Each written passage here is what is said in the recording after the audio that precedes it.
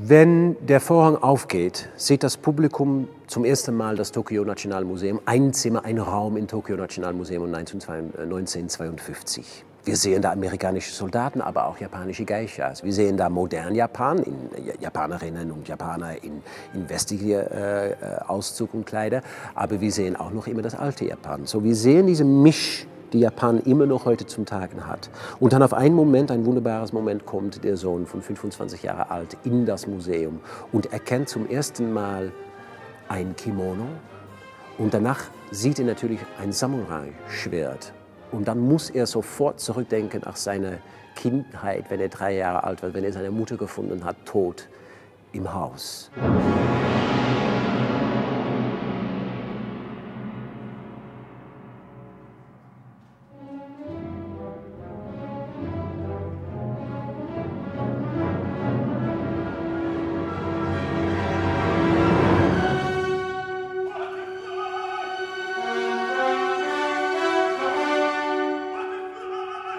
Die Puccini Madame Butterfly erzählt die Geschichte von der japanischen Geisha Chocho-san.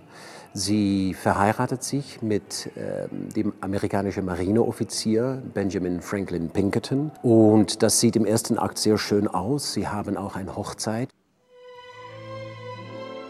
Aber wir entdecken sehr schnell, dass er nicht der Planung hat in seinem eigenen Kopf, um da lang zu bleiben in Japan. Dann in der zweiten Akt sind wir drei Jahre später und haben wir entdeckt, dass Pinkerton Japan verlassen hat, aber dass Butterfly schon vor drei Jahren allein in das Haus, was er noch immer für sie gemietet hat, lebt mit ihrer äh, Bediente äh, Suzuki.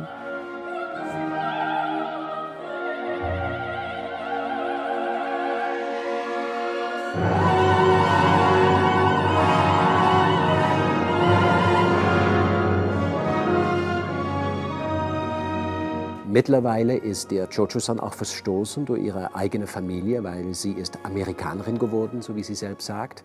Und eigentlich kann man sagen, jetzt befindet sie sich in einem Niemandsland. Sie ist nicht Japanerin, aber sie ist auch kein Amerikanerin, weil der Mann ist nicht da. Und dann entdecken wir halbwegs in diese zweite Akt auch, dass es ein Kind gibt, dass da ein Junge ist.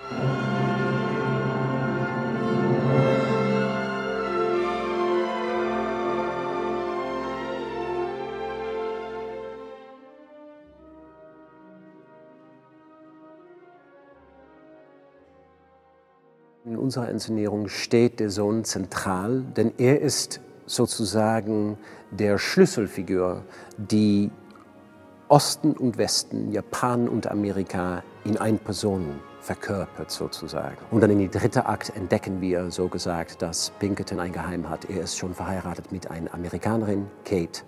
Und am Ende von unserem Abend äh, schicken sie äh, die Sohn mit das kleine Kind geht mit, mit Pinkerton und Kate, zurück nach Amerika. Aber bevor dass sie das Kind wirklich abgibt, pflegt sie Harikiri, die japanische Selbstmord, weil sie kann nicht zurück nach ihrer Familie, aber sie kann auch nicht vorwärts nach Amerika. So das Einzige, was sie machen kann, ist zurückgehen nach der japanischen Tradition von ihrer Familie, die alte Tradition. Und das ist das Retten von der Ehre und das heißt Selbstmord.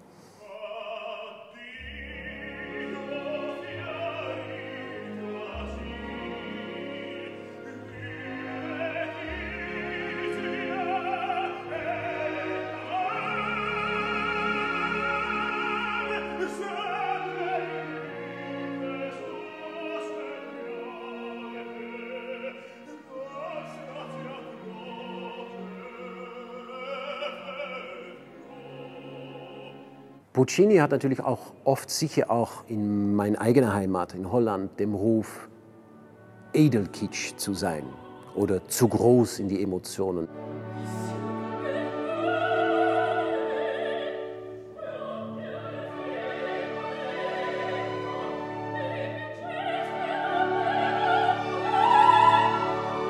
Ich denke immer, wenn man Puccini und seine Musik, aber auch das Schauspiel wirklich von allen Klischees und von allen zu vielen Ritenuti und Rallentandi und die Edelkitsch wegputzt und wirklich zu dem Kern von Stück geht, ist das ein sehr emotionale, hervorragende Weise, wo er, wo er uns Menschen und auch diese Identitätskrise, diese Clash von Kulturen ähm, ähm, malt, wirklich wie ein Filmskript.